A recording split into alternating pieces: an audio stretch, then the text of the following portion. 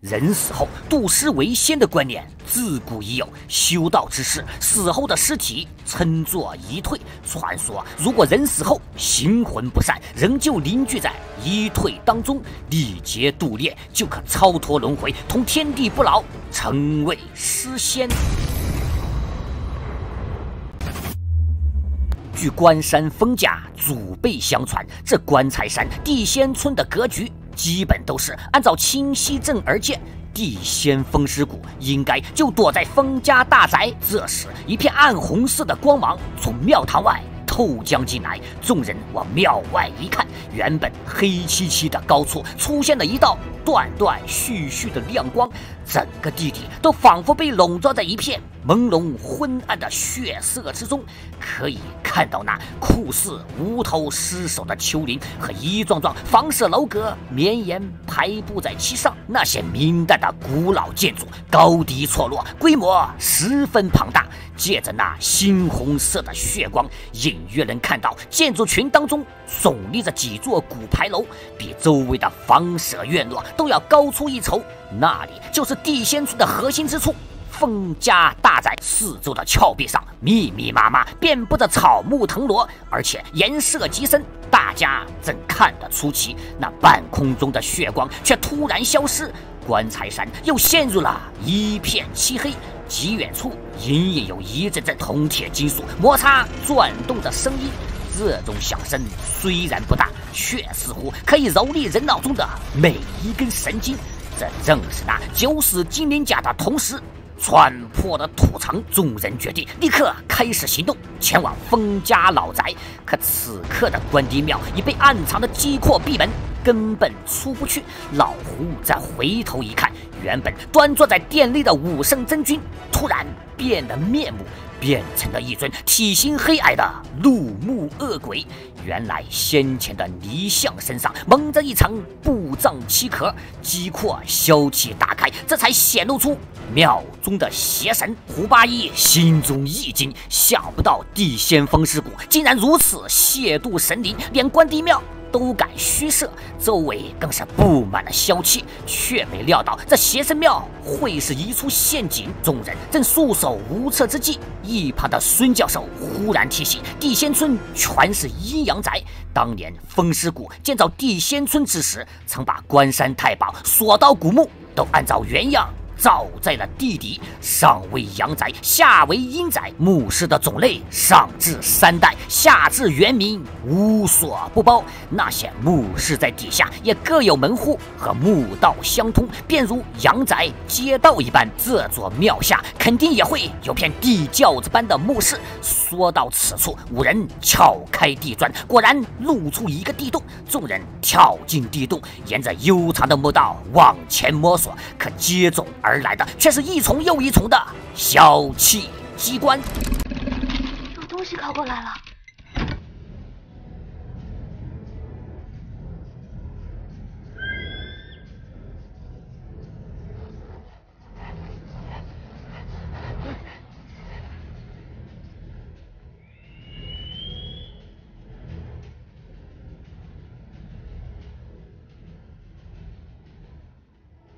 墓道中先是射出火箭消气，这种明淡的机括利用火药或者机簧发射，发射时犹如群蜂出巢，故名一窝蜂。接着又是重型机关滚石或千斤锤，此类机括利用巨大的石球、石锤等物，对已经被倒开的墓道进行二次封堵，在刀斗行里称其为碎骨桩。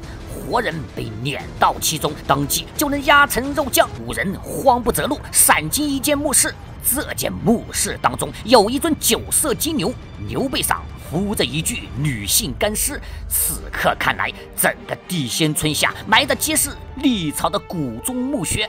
风尸谷费煞苦心，竟在棺材山里造了一座。古墓的博物馆就在这时，却见那金牛驮着背上的干尸，竟向前方撞来，冲破一面石墙。壁后另有一间密室，金牛驮着尸骸，就是没入了墙后的暗室之中。老胡看到此景，猛然醒悟，想起十六字阴阳风水秘术《遁子诀》中的记载，这座古墓。防盗击扩，连环发动。一旦有外人闯入，便会触发消气，金牛便如同一具能够行走活动的棺椁，将墓主的尸骨冥气转移到另外的区域。那面被九色金牛顶开的墓墙有个名堂。换作翻天盖，只要那驮着尸骸的九色金牛一钻进去，幕墙落地之后就再无生路可寻。好在胖子机智，用一把刀柄别住金牛的蹄子，正好被卡在了翻天盖之下。众人赶紧钻进暗室，沿着上行的石阶钻出了墓室。暗道的出口正置身于一间民宅之中。出了民宅，往四周一看，只见各家各户都像是鬼宅一般。寂静的出奇，这深藏在棺材山里的地仙村，完全给人一种明智的感觉，似乎就是烧给死者用的一片民宅。众人也不敢逗留，来到地仙村的核心地带——封家老宅。宅中庭院的深处有座圆弧形的坟墓。这座棺材山的地仙村，真可以称得上是地中有山，山中有宅，宅中有坟。就算是摸金校尉胡八一，也从未见过这种环环相套的阴宅，不由得想起谢灵道魁陈瞎子的那句话。关山太保所作所为，就连神仙也猜他不到。但在这座奇特的坟墓后面，有一幢三层的阁楼，引起了众人的注意。阁楼正门正对着后院的剧中，门上横悬着“关山藏古楼”五字。那地仙的真身是否就藏在楼中？众人正要进楼一探，却发现那座坟墓的坟砖缝隙里突然渗出许多污血。雪莉杨疑惑道：“坟里怎么会流出血来？而且腥臭无比，令人作呕。”大家见到此景，不免令人想到棺材山中传说的尸仙。眼前的这座坟墓中，难道就埋着尸仙？地仙风尸谷在棺材山里穷尽心血建造阴宅，为的就是死后得道度炼，修化成尸仙。这后宅中的坟墓很有可能就是地仙风尸谷的葬身之所。老胡当下就想刨开坟丘看个究竟，可坟中渗血是不祥之兆，而且尸血必定带有尸毒，不如先到关山藏骨楼一探，想必会藏有一些线索。进入楼内。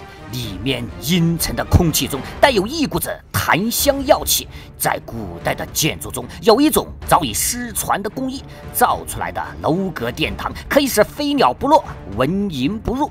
这种木结构的建筑里会藏有暗香，千年不散。眼前的关山藏古楼可能正是一座早已失传的逍遥神仙阁。看来关山风甲在建筑、风水、陵墓等方面。果然都有常人难及之处。长谷楼的一楼都摆放着一片片龟甲天书，全是关山太保在棺材匣玄关中盗发之物。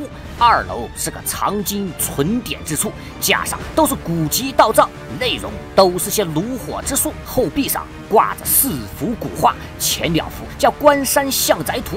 分别描绘着棺材山的地形和阴阳二宅图谱。第三幅叫《秉烛夜行图》，描绘着一排长长的队伍，打着灯笼火把，沿着山壁的鸟道往地底最深处走去。而最后一幅画卷中，正是咱们最初去过的那座乌阳王古墓。画中所绘是风师谷在地宫中盗墓开棺时的情形。画卷上写的明白，这是关山玉仙图。登上顶楼，这层木楼空间窄小了许多，只设有一个神龛般的石柜，上边放着一本由地仙风师谷亲笔所书的《关山绝藏录》。孙教授如获至宝，因为里面记载着风师谷的生平以及棺材山里那些不为人知的秘密。万历年间，当朝的皇帝心昏神庸，特别喜欢服药炼丹，也常以长生不死之事询问风师谷。当时的风师谷并不怎么相信炉火之道，他认为自古从无不死之人。为此，他多次奏明万历皇帝，不死仙药之事终究虚幻渺茫，结果惹得龙颜不悦。风师谷是个极精明的人，自然洞悉保身之道，他便告病还乡，举家离开京城，回到祖籍清溪镇。风师谷有个爱好，就是喜欢钻研各种奇诡无方的艺术。回了老家，风师谷闭门不出，专门研究古老的方术。他为了求取古墓中的各种奇门方术，便令手下人等四处盗发古墓。关山太保盗墓与他人不同。这伙人都提前扮作戏装，像什么无常、判官、阎罗、牛头马面，全是阴司里的装束。其手段有烟术、缩骨法、使人搬运、驱使侍从等等，显得格外诡异神秘。所谓的烟术，就是一种类似湘西赶尸的催尸术。关山太保通过向墓穴里喷吐水烟，将墓中的尸体进行催眠，控制陪葬的尸体，打开棺椁，取出冥器后，尸体就会自行扑倒在地。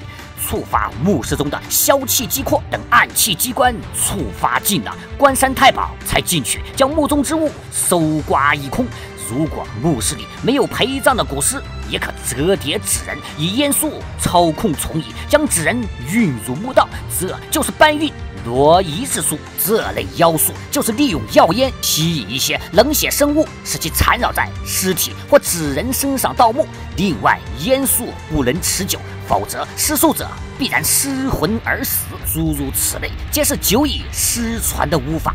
巫山棺材匣玄关中的骨架上，便记载着许多这种奇门秘术，被风氏一门统称为关山指迷术。最后，风师谷想起在棺材匣中还有一座规模庞大的古墓，传说是乌阳王的陵寝。据当地传说，乌阳王崇信巫风，极度残暴，但苏导河道有功，可谓毁誉参半。最后被人所杀，没有了脑袋，只好带了一颗金头下葬。风氏祖先留下训示，告诫风家后世子孙，无论如何。绝不要进入那座古墓，否则必有灭族之祸。可风师谷自持手段高超，又觉得乌阳王地宫中必定藏着许多奇诡奥妙之物。